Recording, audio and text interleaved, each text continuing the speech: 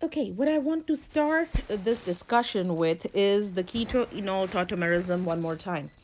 Uh, I showed you in class that if you have a ketone, if you have a ketone, and if you can draw out its enol,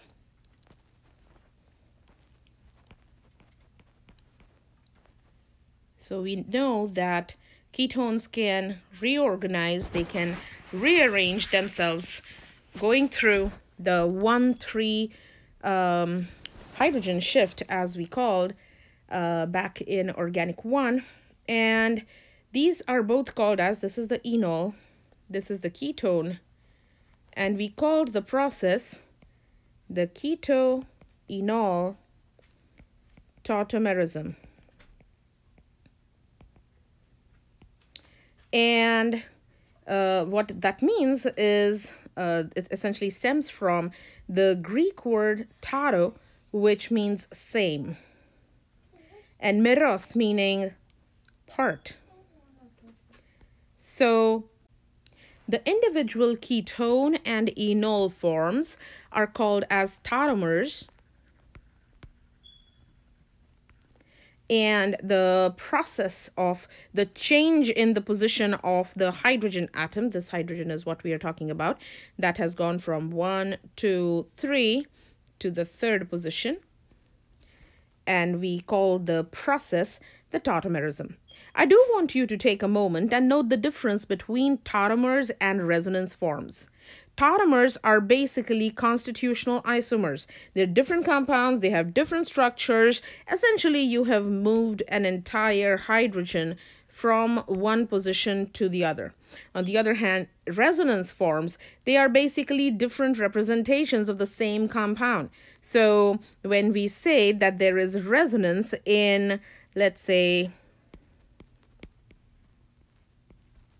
you say that the negative charge comes in, these electrons move. And this is resonance stabilized. In other words, you have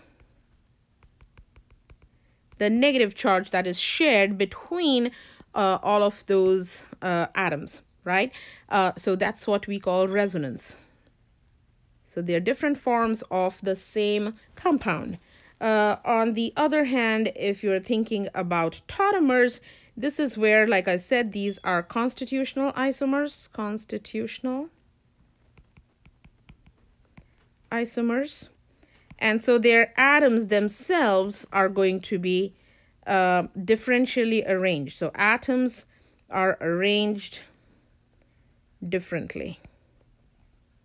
So somewhat like two different ways to distinguish between uh, the tautomers and the resonance forms. Um, uh, so that you can use that in future. Now, we know that when there occurs a ketone, so for example, if you had cyclohexanone, there will occur an enolic form. But it's not necessary that that enolic form is going to be in really great amounts. For example, your ketone is 99.999%.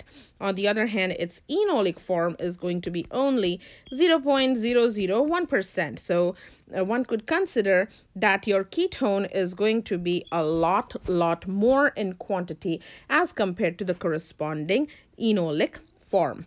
Now, if you consider conditions to be acidic, and you have your keto tautomer. So let's say I put an acid, maybe I have HCl, right? So you say that the lone pair of electrons is going to pick up your proton and there can be an equilibrium that gets set up in which you have the activated protonated carbonyl And so when the electrons are being pulled by the positive charge on the oxygen, that's going to render the carbon electrophilic.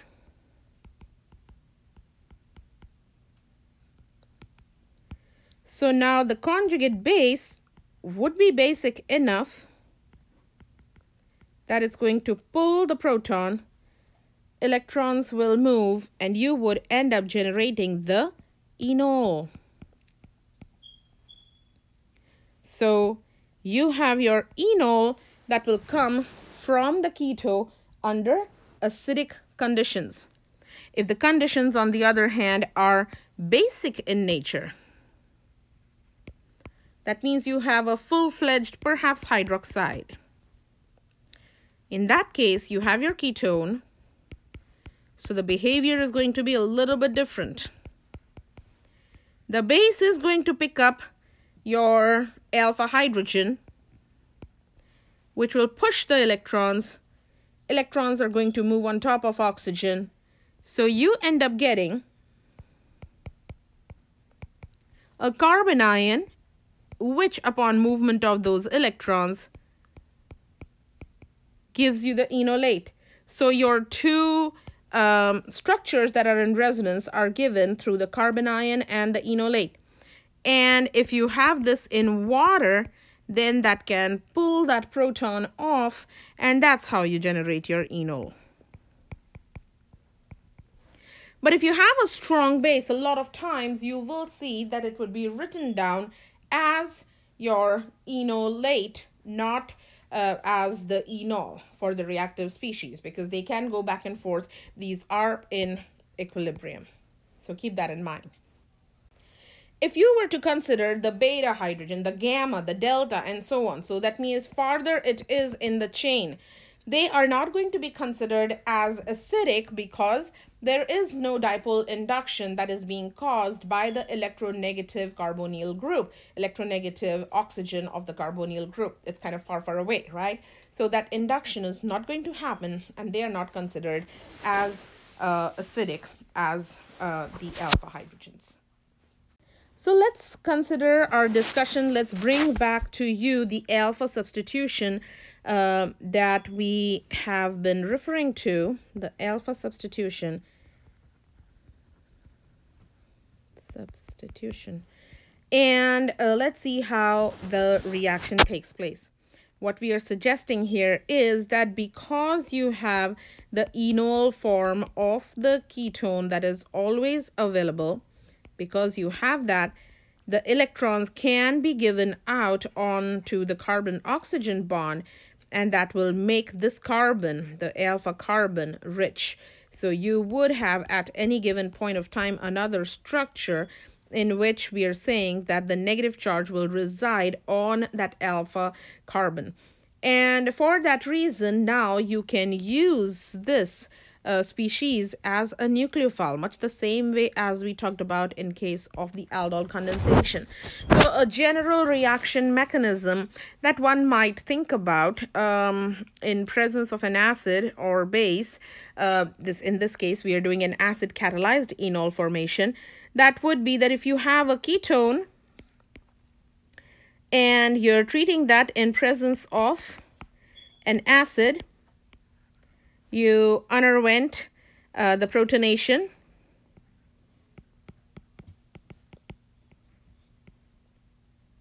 First, you would get the positive charge, and that can then move the electrons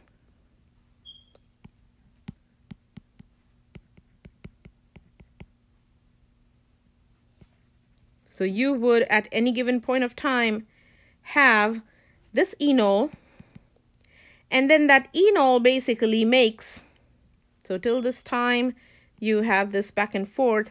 Once you have your enol and if that sees and starts to serve as a nucleophile it can attack with any electrophile and that electrophile can simply just get added up what that means is that electrophile could be something like a CH3I, for instance, in which case you would end up getting your added methyl group would be right over here. I'm going to put down the CH3 in red just so that you can track. So all we are seeing is that you have that as a as an added electrophile, in this case a carbocation, and of course at any given point of time you can pull the electrons back so you have um, resonance in the molecule that will look like positive charge now on the carbon. So both of these are the resonance structures as can be seen. Um, and uh, your I minus, if that relieves your proton, your end product is your ketone. So you can show those as your uh, as your possible structures. Um, uh, just like we can carry out the alpha substitution, we can also carry out an alpha halogenation reaction, um, which is also an alpha substitution if you think about it, which one can even do in the lab. So what you have is a methyl ketone. Anybody remember the name of this? Acetophenone. Good job. And so if you treat that with bromine and acetic acid,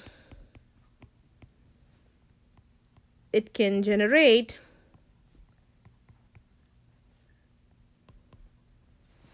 the alpha brominated product. Notice that the other side, which contains the benzene ring, is not going to go through the reaction. Um, this type of a reaction has been seen in biological systems as well. There are some algae that have shown the formation of dibromoacetaldehyde, bromoacetone, and the likes of that.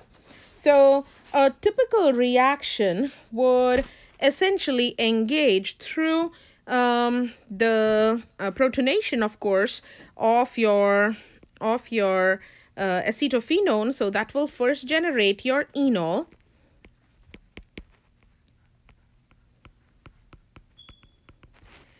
And when you subject that to treatment with bromine, because bromine is an acetic acid, acetic acid is your solvent, right?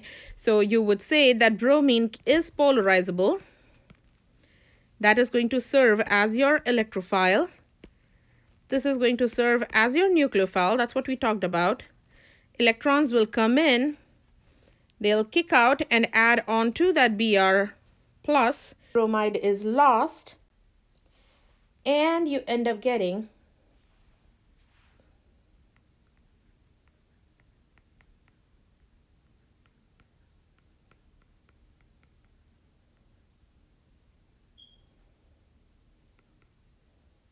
your alpha brominated molecule. Oxygen can pull the electrons back.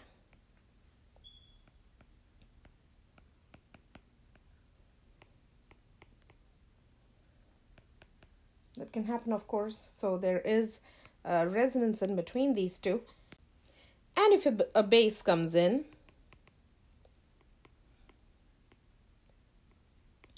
and pulls the proton, then electrons can move and you can show your final alpha brominated acetophenone.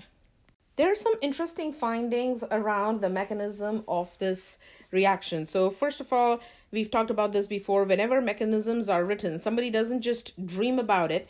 They have to carry out experimentation something that can be measured, something that can prove the occurrence of the formation of certain intermediates, and then they reason out why is happening, what is happening, right? Um, one of the things that was found for this particular reaction is that you have to first generate the enol. That means that you have to start um, it, it's not that the ketone and the enol will coexist. You will have to force the reaction to uh, essentially convert the ketone into your enol and only then the reaction would essentially go through. So that first step where your ketone reacts with some kind of an acid, could be HCl, could be HBr, would have to be done and um, when the reaction was done so when you have your ketone or the aldehyde so ketone or aldehyde or aldehyde. And then we are subjecting that to treatment with your HCl with which with water typically will or can be shown as the H3O plus. And that will generate your enol. So that is an that is a slow reaction will have an equilibrium but essentially your your OH, your H is coming um, in and your alpha hydrogen, your alpha hydrogen, maybe I'll put down the H3O in black to avoid any confusion. So your, your alpha hydrogen is getting shifted onto the third position and you get your enol. And once you have your enol and you continue to treat that with um, a halogen, right? So that's just X2. So that means that your electrons are going to come in. You have, so it could be something like Br. That's going to pick up, the X is going to leave. And so we said that our product is going to be um, over here. So your alpha halogenation took place. The same reaction was seen if you had deuterated compound. So D3O plus. So the same reaction took place that the electrons kicked in. They picked up the proton, electrons moved. So you ended up being with one deuterium. And so recall what we talked about the isotope uh, labeling. That is what is typically used uh, in uh, in uh, writing down your mechanism because it's like a tracer technique. You can follow along where that deuterium is. So is my deuterium in this product? Is it in the water layer? Where is it at? There is a tracker uh, essentially which is connected to it. It's labeled.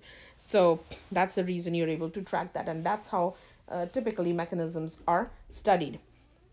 What was found was that the rate of the deuterium exchange was found to be identical to the rate of the halogenation, implying that essentially it went through this common intermediate, which was the enol, which was involved in both the processes. And so, um, formation of that uh, enol is a must for these reactions to take place.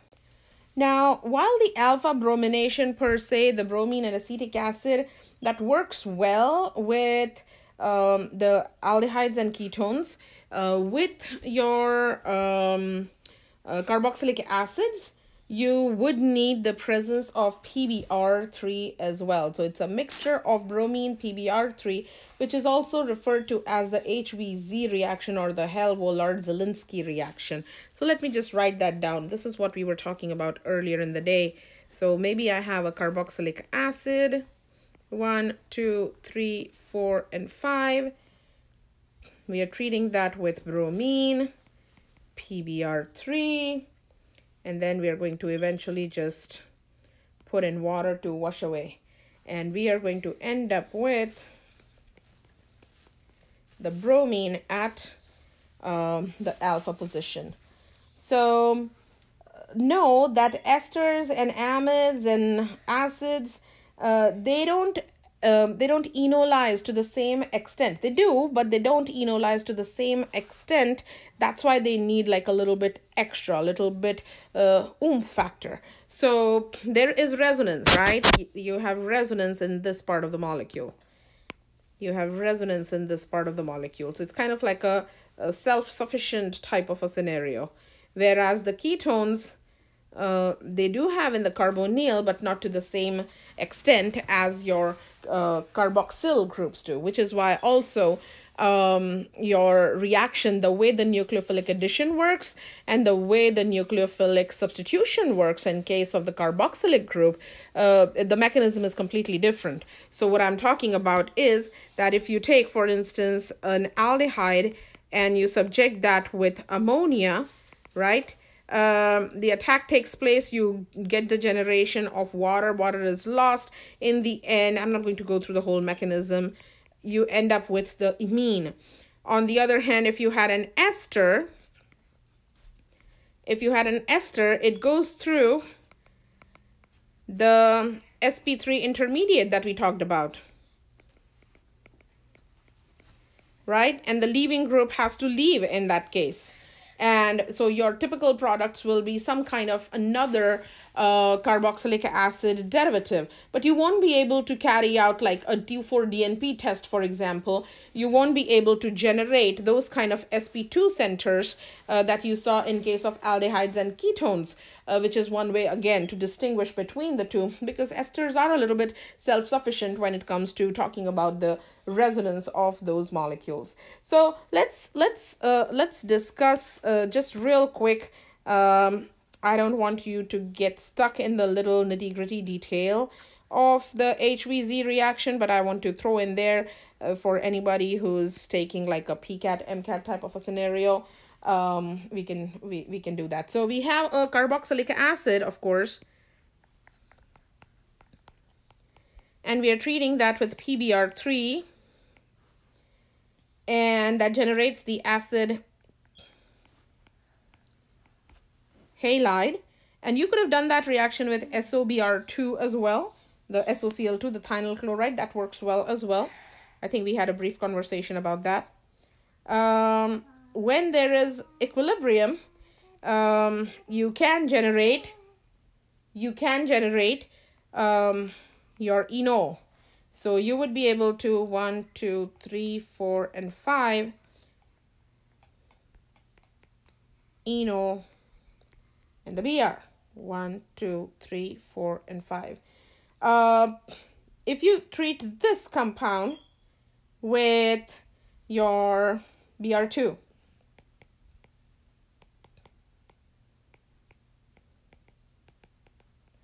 electrons kick in. These are going to attack. Bromine is going to leave. So you would end up with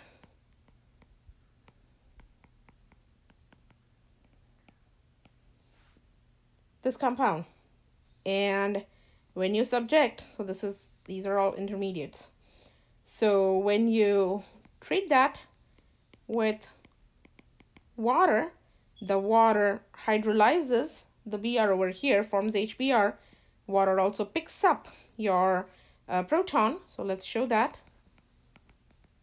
Water will pick this proton. Electrons are going to go on top of the uh, oxygen.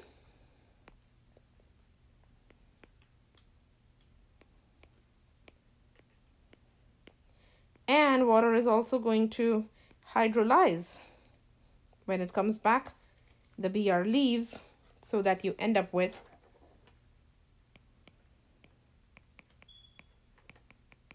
only one alpha brominated carboxylic acid. So let's talk about how we can generate these alpha substitutions uh, in a useful manner and what we can do with that. So one of the things that we have said is that you can use a base and the base that we are using here is LDA which stands for lithium lithium diisopropyl amide. Now diisopropyl amine will be this. And if I remove the hydrogen so that I have a negative charge, that will be an amide anion. And a lithium salt of that is going to be lithium diisopropyl amide. AKA, long story short, it's very strong as a base. I'm calling that a strong base because the corresponding acid, which is an amine, right? The amine, which is a conjugate acid, is a extremely weak acid. That means the base will be like a super base. So if it is a super base, that means uh, it will react and it will get rid of, it will be able to pick up any hydrogens uh, which are kind of moderately acidic, right? So something like ketone, pKa of 22, 23, it would be able to do so. Uh, in this particular case, because this LDA has these isopropyl groups, it also is sterically demanding. It should be brought up that it should it is sterically demanding. So in here, of course, both of my hydrogens are exactly the same. So if I put in my LDA, my LDA can come in from either side and it's going to pick up the proton. Electrons are going to move. You're going to end up with the enolate. And when the electrons come in, you add in your R group, the um, I minus leaves, and you end up with an alpha substitution at the end of the day. On the other hand, if tomorrow I had another ketone which does not have this case scenario, perhaps it has a methyl group already and you treat that with LDA. So which direction do you think? Do you think it is the A direction or do you think it is the B direction that the LDA is going to come from? So does it come from A or does it come from B? I'll take you a minute to think about that. You can pause me.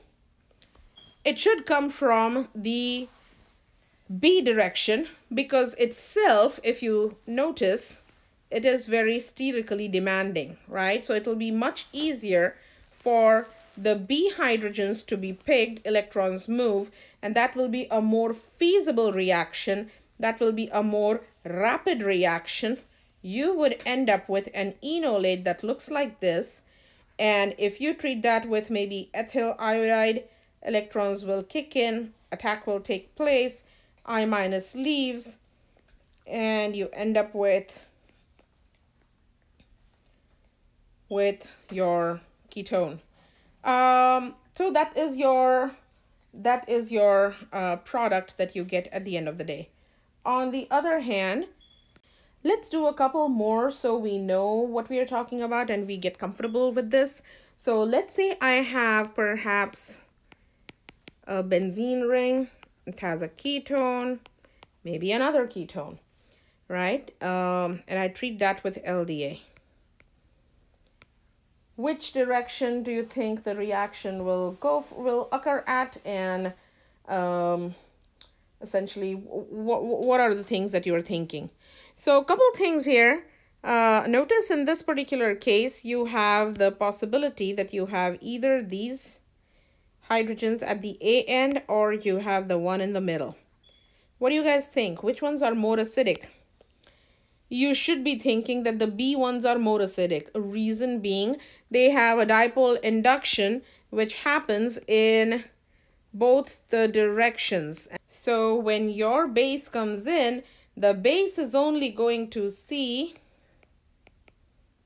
the two hydrogens here because they are so different in this case the acidity of the pKa of the B hydrogens is somewhere around 10 or 11 and the pKa of this is around 23.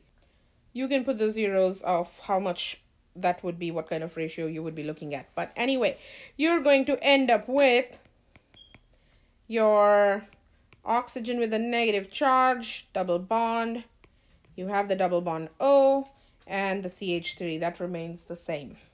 While we are at it, I do want to talk about the alpha bromination, alpha substitution um, under bromination under basic conditions. Under basic conditions. So if you have your ketone and you have a base. Maybe you have sodium hydroxide. And you have your enolate, right? We are used to drawing that now. You could draw out very easily electrons coming in, attacking the bromine, bromide leaves. So you end up with the alpha brominated molecule the Br minus has left. Now, the base promoted halogenation of aldehydes and ketones is seldom used in practice because this can go through uh, another round of the reaction. So it's almost uh, next to impossible to stop the reaction at the monosubstituted state. And so the alpha halogenated ketone is generally considered more reactive than the starting unsubstituted ketone. And uh, because of the bromine group that you have just added, these two hydrogens that remain are going to be even more susceptible for removal, right? And so that reaction will occur faster and it will very quickly give you the tribromo product. So that's the reason that it's not typically used in lab. However, uh, what was done was it was used essentially to generate, to uh, carry out a chemical test, which is called as the haloform reaction or the haloform test. So if your halogen is iodine, it will be called as iodoform test. If the halogenation is bromine, you would call it bromoform. Chlorof uh, if it's chlorine, then chloroform, of course. But it's more useful, it's most useful in the case of using iodine. And what is done is, what they use is, is a, a methyl ketone. If you recall, methyl ketone is any ketone which on one side of it contains a methyl group. So acetone, acetophenone are both methyl ketones. On the other hand, benzophenone would not be. When that is treated with, let's say, iodine, in presence of sodium hydroxide, it goes through this iodination, the sequential iodination that I was telling you about. And now, since you have a strong base in the reaction mix, oxygen is going to still pull the electrons towards itself. That will cause the hydroxide to attack, which will give you oxygen with negative charge OH is what has been added. Ci3 is basically what you have. Negative charge comes in and the Ci3 leaves. So you end up with C double bond O, OH plus Ci3 with a negative charge. This negative charge can pick that proton. Electrons will move on top of the benzoate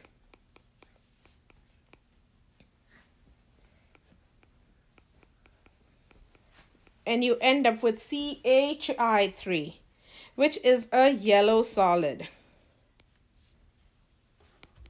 So if you want to detect the presence of a methyl ketone, uh, you would be able to carry out the reaction. You would be able to uh, run this reaction. And if you do get a yellow solid as your product, you say that a CH3 C double bond O group is present.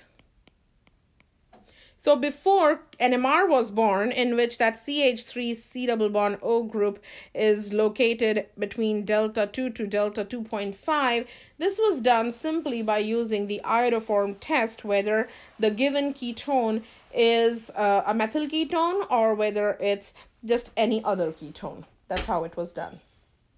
Now, when we talked about the uh, aldol condensations, uh, and we talked about the donor and we talked about the uh, acceptor.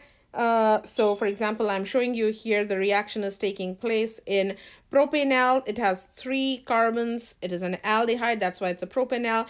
The second position is where the alpha hydrogens are. That is what is going to undergo the reaction because your enolate is going to look like your aldehyde double bond in place. This is the active site and this is the active site for the donor. So when the electrons kick in, you want to, you need an acceptor. And what would that acceptor be? If there is nothing else, then that acceptor is going to be another molecule. That's why we called it self-condensation. That's why we said that the reaction has got to take place under higher concentration, essentially. And so your new product, if you were to number this, that's one, two, three. I'm going to track it. This is one, two, three. The new bond has been formed between alpha of one carbon and the carbonyl of the acceptor. And that would look like, that would look like position number 4, 5, and 6. This would be 4, 5, and 6. And so notice that all of your carbon atoms will be retained in your molecule and the product that you end up getting is a beta hydroxy aldehyde. It is an ald all. It is an ald all, hence aldol. So the aldol is nothing but beta hydroxyaldehyde, which upon further treatment with an acid or a base is going to undergo protonation and then it has the choice whether that protonation is going to happen whether that protonation is going to happen uh, with the loss of the hydrogen here or whether that protonation happens and I talked about all of that in the previous part whether uh, the, the, the loss occurs essentially from the right hand side in which case it's going to be um, a secluded double bond. So of course, as we discussed, this is isolated, whereas this is in resonance and the one in resonance is more stable. That's the conjugated enone that you would generate. So whether it's a base catalyzed reaction or acid catalyzed reaction. In the end a molecule of water is what is expelled which is why we are calling it the condensation reaction as we discussed. And the end product is always going to be the alpha beta unsaturated ketone or the aldehyde and this is the same thing with driving the equilibrium, noting the uh, ketone this time. The only one thing, again, notice you have the alpha, you have the beta. So the beta position does have the hydroxyl group. So it's a beta hydroxy ketone that you have and hence we call it an aldol reaction. And then that will undergo um, your uh, dehydration to give you the alpha beta unsaturated ketone in this case, which will now be susceptible to the 1,4 conjugate addition. But notice that uh, this is a ketone, right? So the reaction um, is going to be not very feasible. Look at the equilibrium arrow. It's... Uh, it's not very much towards the forward direction. It is uh, more towards the backward direction uh, in this case. Once it gets formed then the loss of the water that's easy. You're pushing it because you're heating it with the presence of the acid. But before then the reaction doesn't quite cut it. So one thing that I would want to suggest here is if in your product candidate, if you are seeing um, an alpha beta unsaturated system, right? If that's what we want to synthesize. And if we want to, or if we want to synthesize a beta hydroxy system, we can achieve both of those using an aldol, right? And so it might be useful to think about the aldol reaction if our product is that. So let's see if we can actually put something together uh, perhaps we could have a reaction where I have, let's say, so I have propene and via several steps, I want to convert this propene into perhaps this molecule. Now I'm thinking, well, I started with one, two, and three carbon atoms and how did I get one, two, three, but then also four, five, and six? Oh, sounds like there could be some kind of a dimerization reaction going on, right?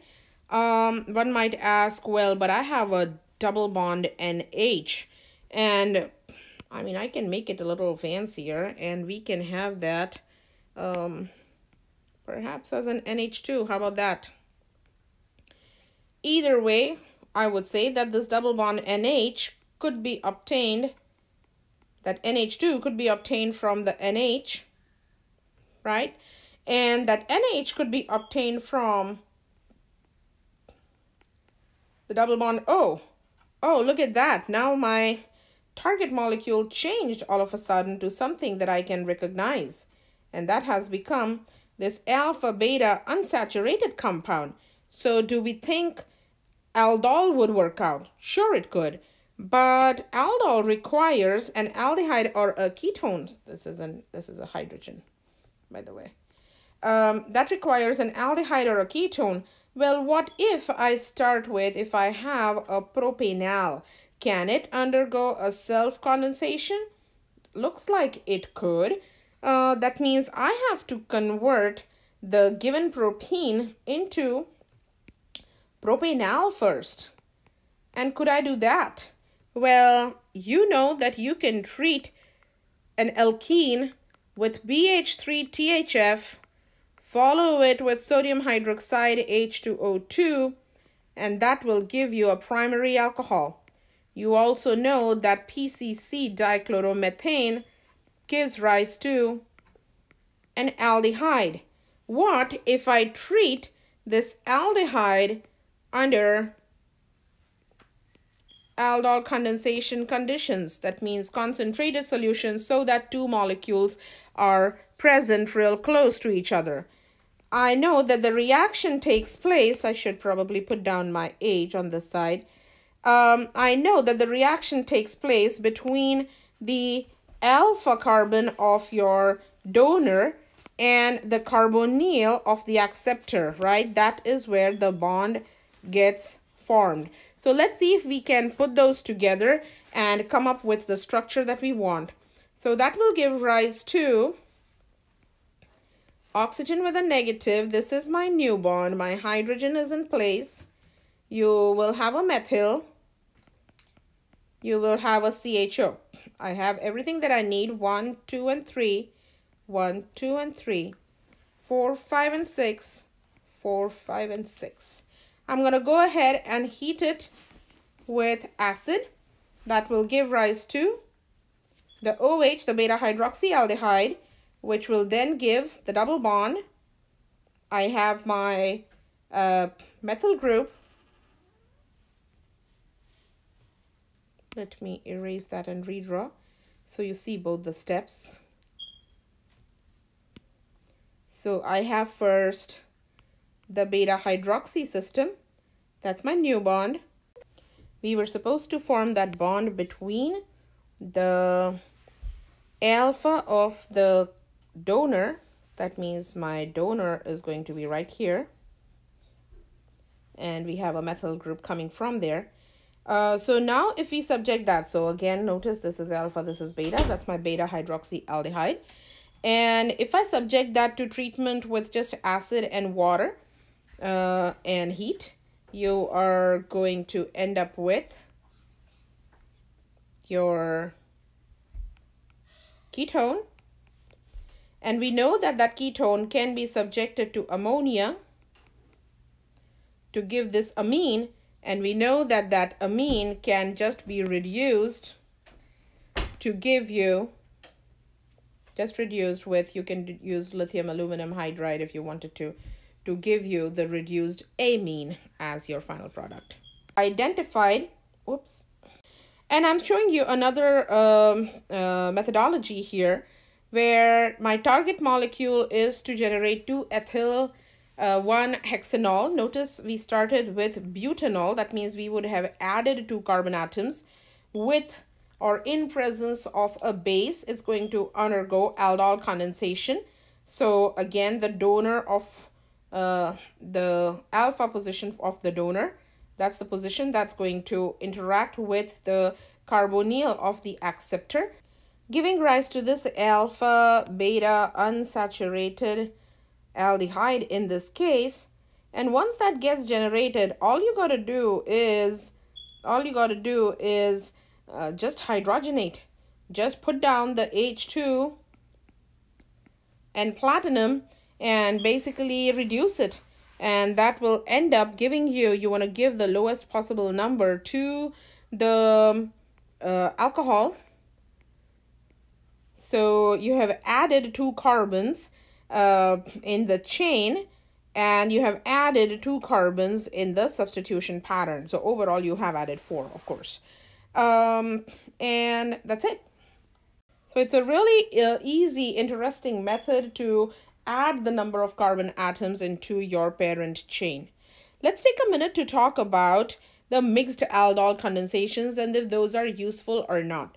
So mixed aldol condensations, such as, um, you know, if you take maybe acetaldehyde and propanaldehyde, we've talked about these similar reactions in the past, those will not be useful uh, because both of them contain alpha hydrogens, right? Both of those contain, I'm just going to highlight, there's alpha hydrogens here, there's alpha hydrogens here.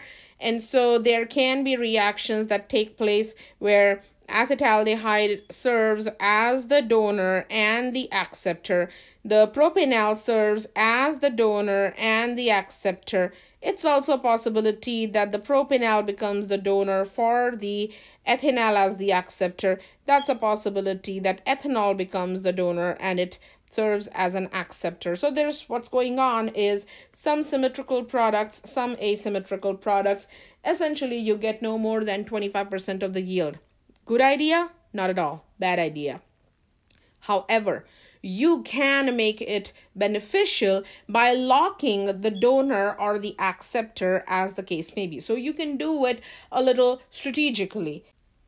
Let's take a deeper look as to how you would go about it. How could you lock a donor or lock an acceptor and hence be able to get better, um, better products, better reactions than otherwise. So over here we have uh, benzaldehyde and notice that I have marked that as an acceptor already. Why have I marked that as an acceptor? Well, if that's your functionality and this is the alpha position, guess what? It does not contain any hydrogens at all, right? So the only way that this aldehyde can serve is by being an acceptor.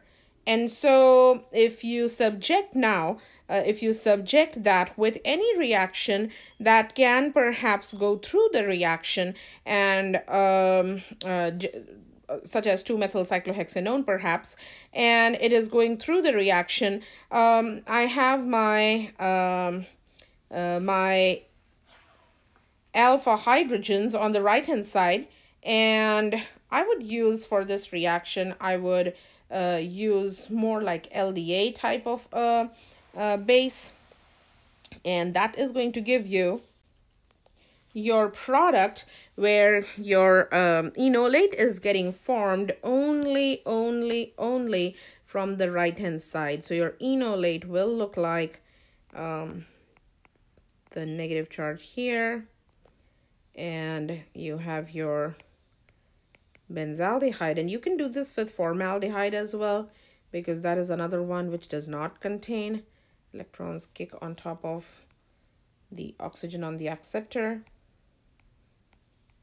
so again, you would get the alpha position is what is receiving the new bond. Let's highlight that new bond. That's my new bond. And now I have my uh, acceptor being drawn.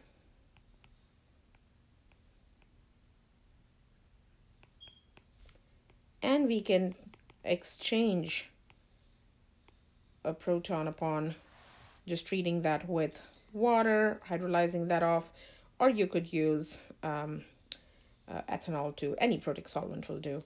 And you would first get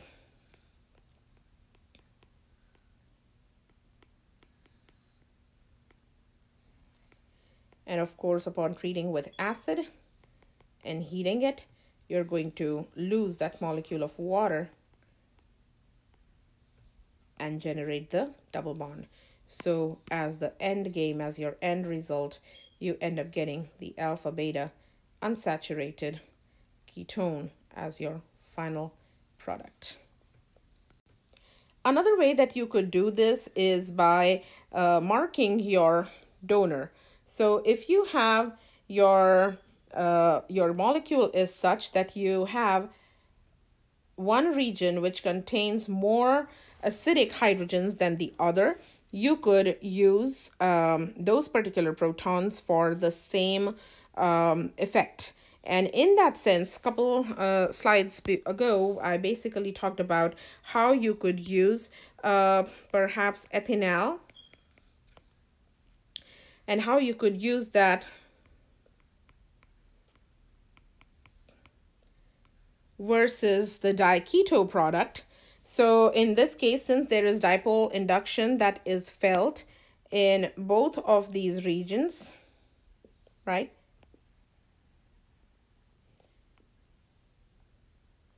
Um, there is greater dipole induction that is felt. And so both of these hydrogens that you see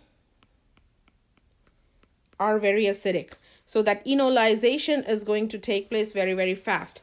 The pKa of this particular uh, compound is around 10, 10.5 or so. Whereas if you consider just the CH3, which is on the terminal side, that is around pKa of 23. So that's really high. And that's not going to go through uh, the enolization if this reaction or while this reaction with the marked CH2s is going on. Now you might say, uh, it could go through the reaction with cyclohexanone. Well, sure, it could for the same reason, the pKa being 23. Why would the base want to go in the direction where it is a weaker acid, it would want to go with the most reactive site first. And so the donor is completely locked. And once that enolization takes place, that carbon is going to attack with the negative charge. The carbon is going to attack, the electrons are going to move, and you would, with the loss of water, notice um, you have the O and the H2, which are going to be lost, and you're going to end up with an alpha beta unsaturated um, ketone again. In this case, turns out that there is an ester on this side and that's okay. Now, as we are going to continue on this, I do want to throw in some molecules for you to uh, consider. Let's say you have two aldehydes. I'm going to mark it one. Let's say you have two ketones. I'm going to mark it B. Let's say you have the ethyl acetoacetate or acetyl acetoacetic ester. Maybe you can put an ethyl or a methyl. So there is a ketone group and there is an ester group. And maybe I'll give you diethyl malonate.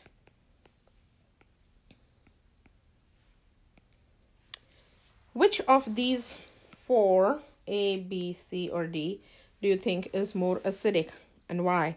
Of course, when you're thinking about hydrogen, I'm not even considering any other hydrogen. It is these sandwiched hydrogens that I'm talking about.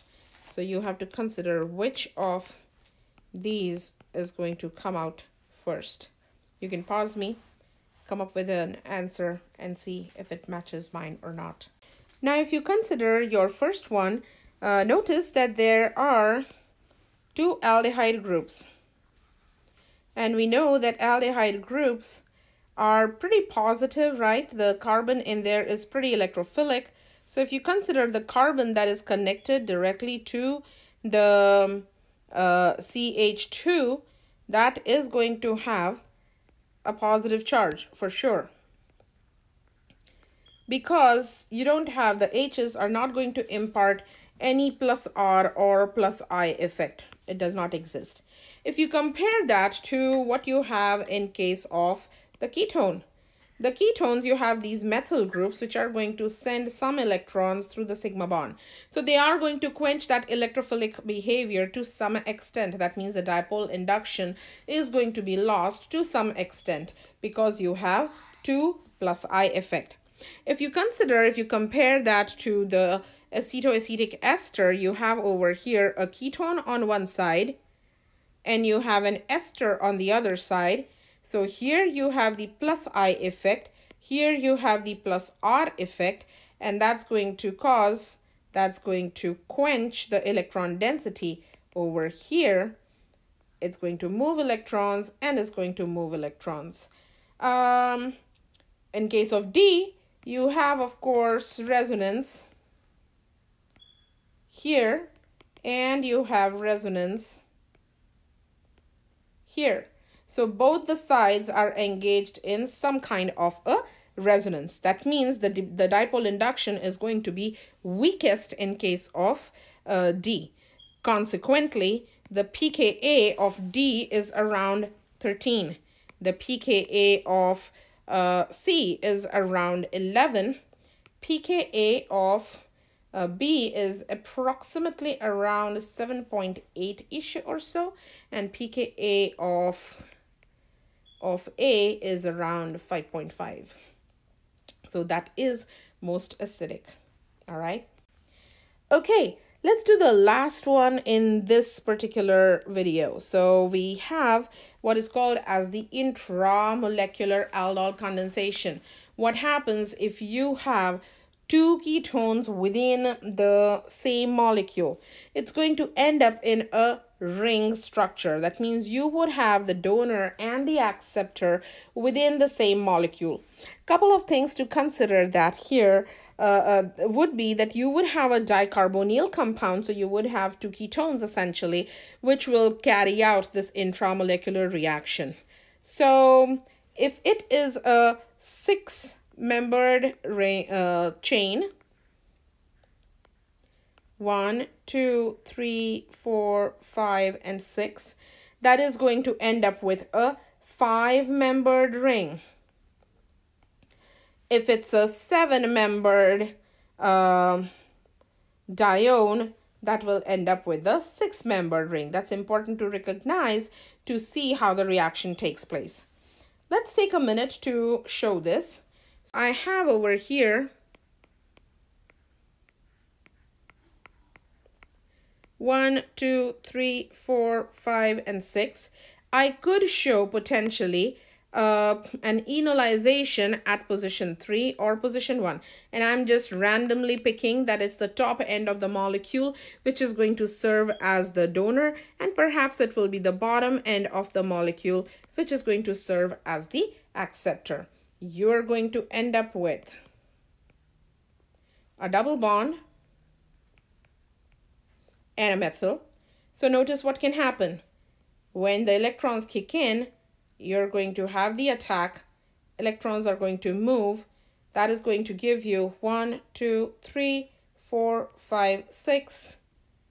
An acetyl group, position 3 is going to be now connected to position 5. So you got a cyclopropane. Oxygen has a negative and there is a methyl group. Uh, this negative charge will be picked up by your water is going to pick up that negative charge.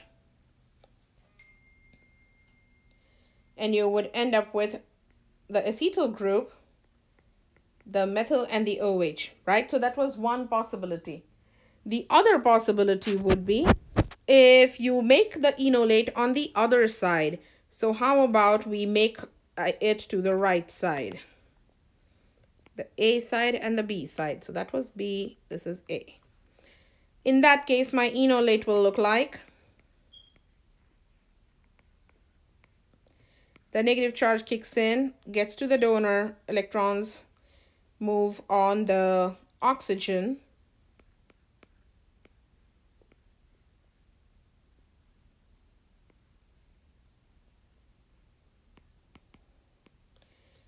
You have one, two, three, four, five membered ring, and that's the sixth carbon.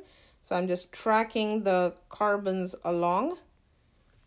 And that O minus is going to then pull the proton off. Hydroxide is going to leave. And it's going to leave behind the OH and the methyl. So now when you heat it with an acid,